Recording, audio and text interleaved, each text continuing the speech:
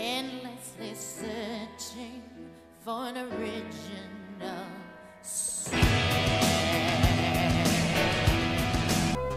Hey guys, welcome to the Indie Files. We're looking at Paradox Soul, another game without a windowed mode.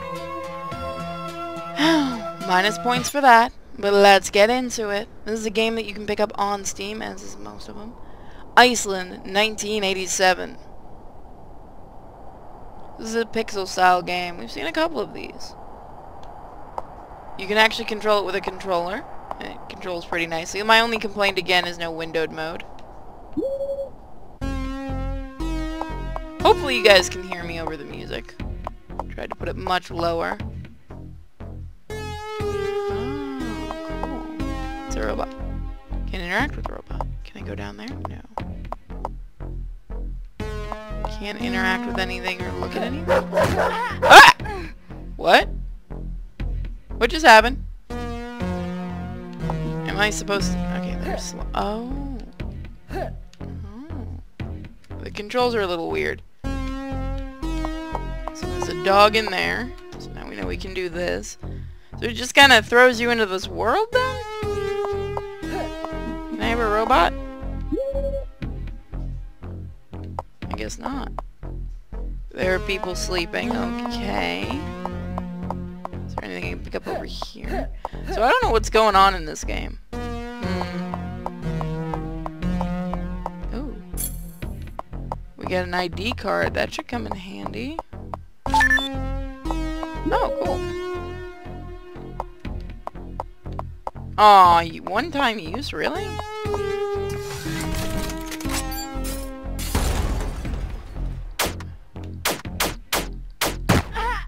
One hit only? Oh, that's a little strange, but okay. Let's see.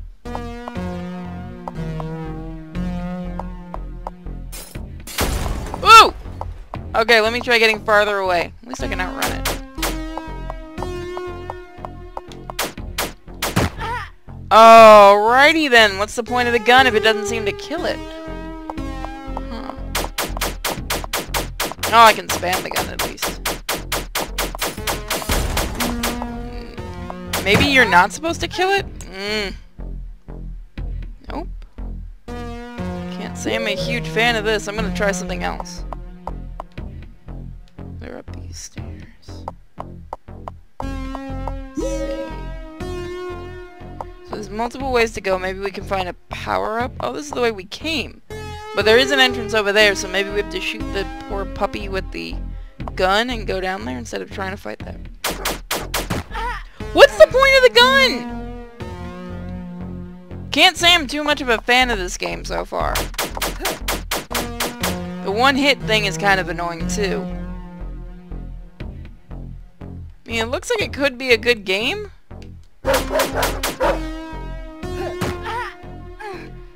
This is kind of dumb. Honestly. It's getting a little frustrating. Come on. I really don't like games that are like... I mean, we can do this. Again, I am not a huge fan of this type of a game. One hit and you're dead? It wouldn't... Even if it's a robot, that's kind of stupid. And the gun feels like it does nothing.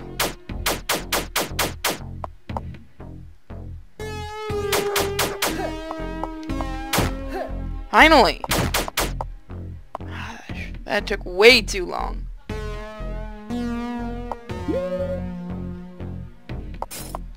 Oh! Oh, come on! Oh, that door just led back there.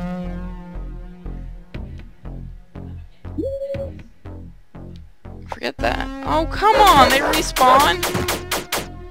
You look like a chihuahua. So wait, do I just leave, maybe? Is that all I needed to collect was the gun?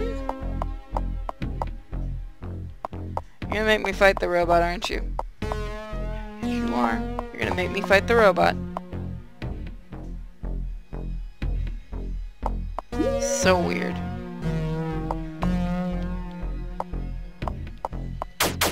Come on. Oh, you're in that one, you're in that one, you're in that one. Nope. I think I'm just supposed to run from him. Oh, I see. So you are just supposed to run Oh, cool. Okay. Oh, not again! Let me out. So... Ah, why does it sound like a kid? That's a little weird. Okay.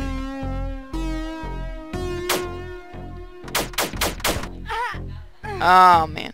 Hold on. Okay, we can do this. Oh, so you really gotta time this.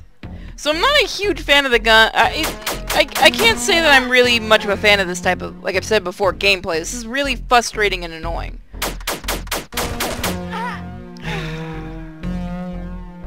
Am I just supposed to maybe dodge him? No, can't do that.